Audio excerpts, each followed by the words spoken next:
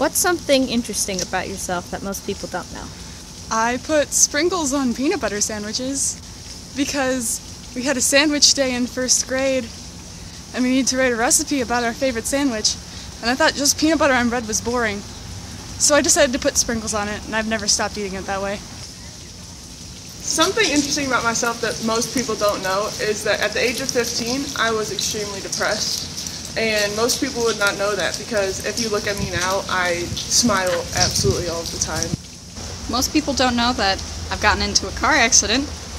Uh, right after the car accident, I had a final to go to. So instead of going to the hospital, I uh, ran to school. I have several different fears.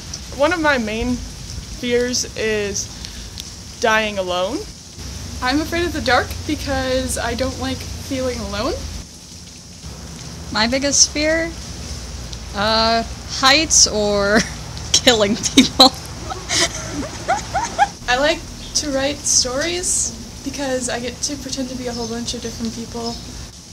I love doing glass mosaics and I love doing art because when I actually was depressed, I had to sit in a dark room for six months. And before that, I couldn't even draw a stick figure, and now I can do amazing glass mosaics and cartoon work, and it just makes me so happy.